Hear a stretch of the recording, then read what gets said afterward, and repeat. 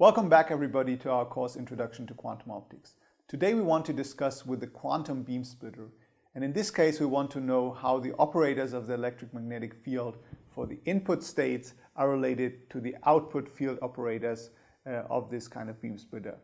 So in general, if we make a picture of uh, what we had for the classical case, we had the input-output relations between classical fields. How are these output fields related to the classical input fields? And now this relation between classical fields, when we replace the fields by operators, by our quantum operators for the electromagnetic field, we see that now we basically get a relation between operators, between output operators destroying photons in mode E3 and E4, how these are related to the destruction operator of photons in modes A1 and E2, and of course the same for the creation operators. So this is the quantum transformation, the quantum input-output relation that extends this classical description to the quantum case. And we can rewrite the uh, input-output relation by just replacing our fields by these kind of destruction operators. So now the output destruction operators are related to the input destruction operators through our transformation matrix and for which we determined the complex coefficients T and R in the last class. So energy conservation holds all the same, so all the derivations we had for these coefficients hold in exactly the same way. But now we have a relation between operators and not anymore between fields. So we have, for example, the destruction operator for destroying a photon in mode 3. That's related to the destruction operator for destroying a photon in mode 1 and 2, through these complex coefficients and likewise for mode 4. So now let's see uh, what we can get. So now we know, for example, what we have for A3 and A4, but what about A1 and A2? How are A1 and A2 related to A3 and A4? Well, let's calculate that quickly. Let's calculate R star of R3. That just gives us norm R squared A1 plus r star t a2 and t star a4 that gives us norm t squared a1 plus t star r of a2. And now let's sum both equations. Let's sum them. And what we get uh, is then norm r squared a1 plus norm t squared a1 plus r star t plus t star r a2 that's r star a3 plus t star a4 and now since sorry norm r squared and norm t squared they sum up to 1 this is just a 1,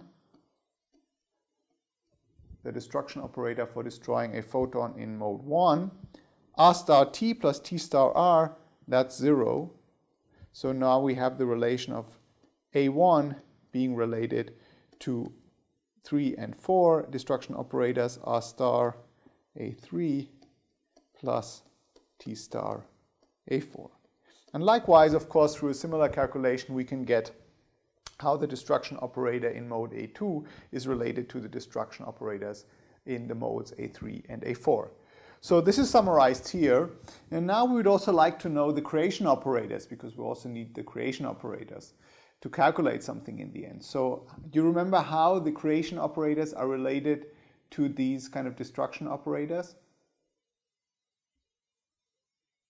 Well, they're of course just the adjoint operators. So A1 dagger that's just R A3 dagger plus T A4 dagger, A2 dagger, that's just T R3 dagger plus R A4 dagger, A3 dagger, that's just R star A1 dagger plus T star A2 dagger and A4 dagger that's just T star A1 dagger plus R star A2 dagger.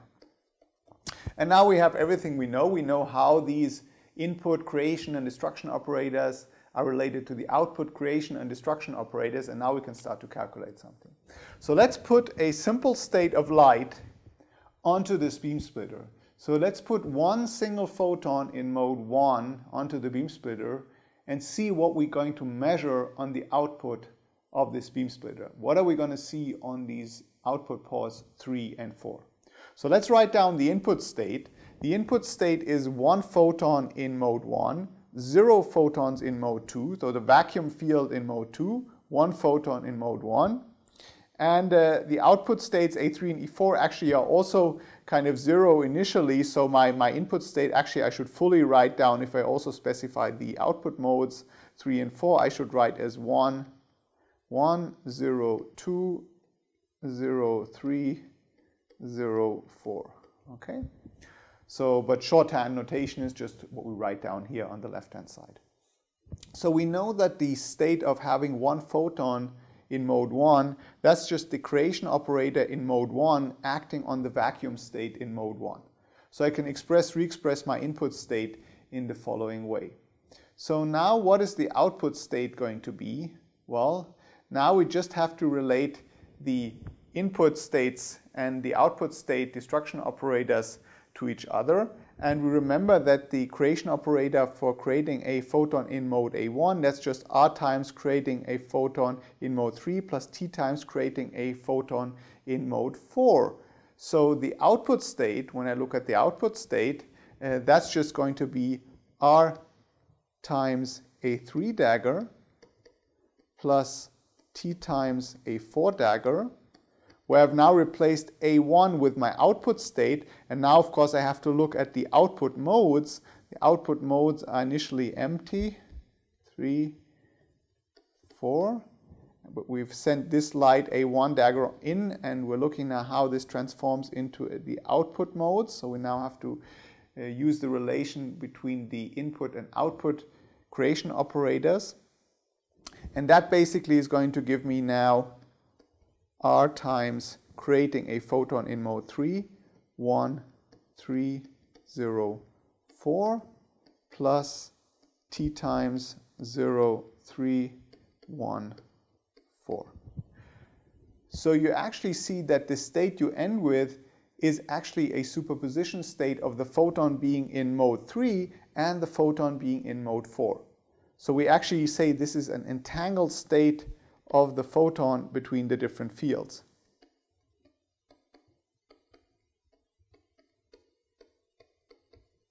between the different field modes.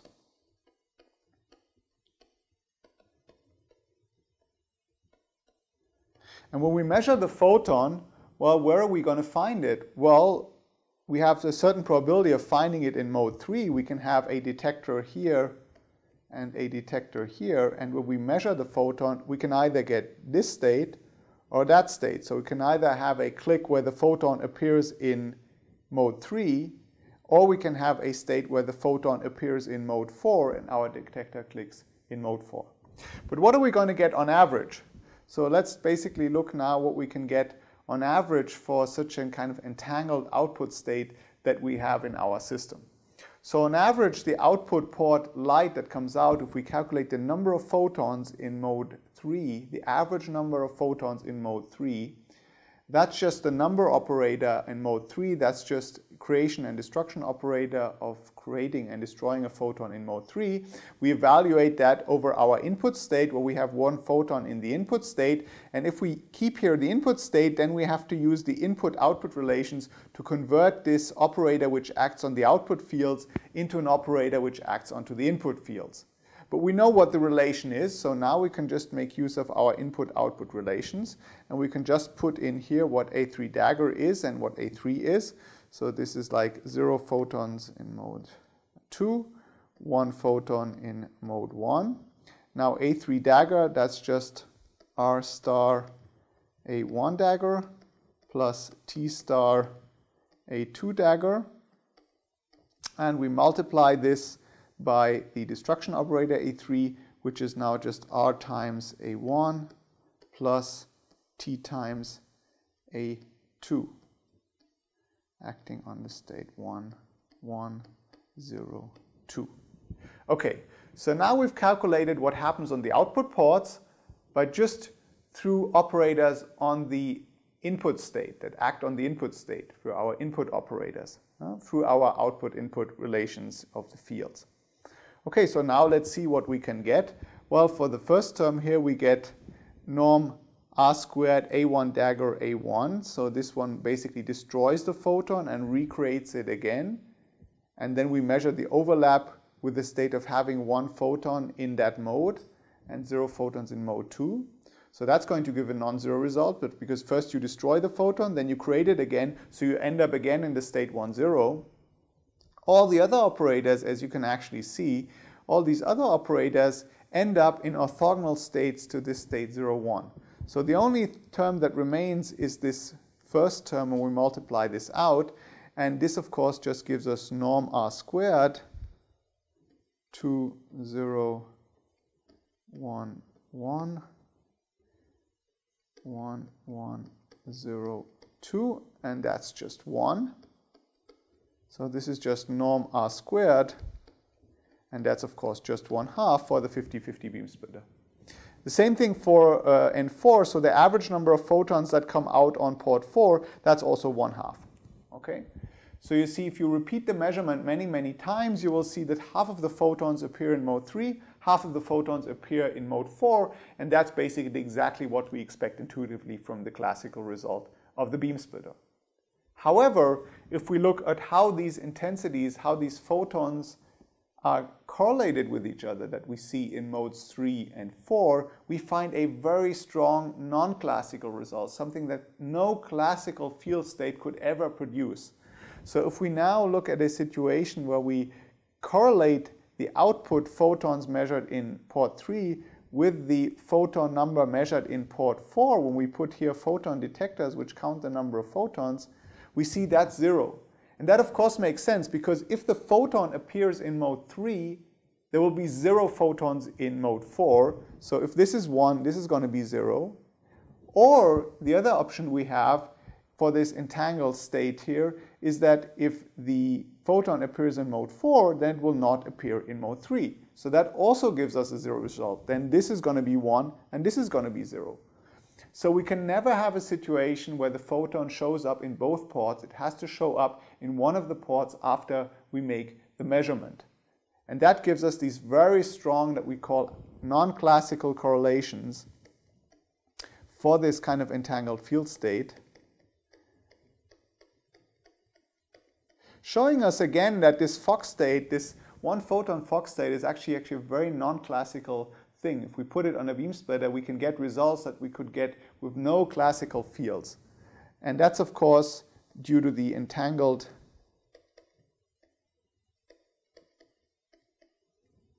single photon state between the field modes.